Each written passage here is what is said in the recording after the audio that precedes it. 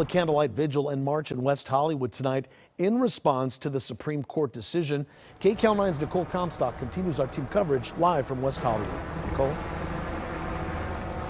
And one, West Hollywood was the first city in the nation to declare itself pro abortion rights. That was all the way back in 1993. So a lot of people who came out to this vigil tonight said they felt like they were waking up in the past today.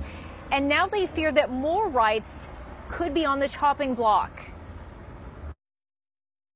The United States Supreme Court should be ashamed of itself. Yeah. June 24th, 2022. Reproductive rights are LGBTQ rights. It's a momentous night in American history. And for those who gathered for a candlelight vigil at West Hollywood Park, they'll always remember it as the night they stood up for women's reproductive rights. And if people are so blind to think that they're going to stop here, they're out of their mind. Because there's a very real concern here. I cannot imagine that these kids are going to grow up without having the right to decide what they're going to do with their own body.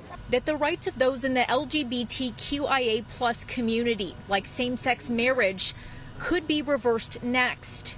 I don't know if in the short term that will be successful, but I absolutely think that there will be very real and vigorous challenges. Law professor Jessica Levinson says even though the majority in the Supreme Court says the overturning of Roe versus Wade is just about abortion, and urged Americans not to worry about other rights that are protected by the Constitution, but not specifically written into the Constitution. If you look at the logic behind the court's opinion, the fact that the problem here, according to the majority, is that the right to obtain an abortion is not written in the Constitution, that the right to obtain an abortion is not in our nation's deeply rooted history and tradition, then I think a conservative court that wants to go there could say the same is true of gay marriage.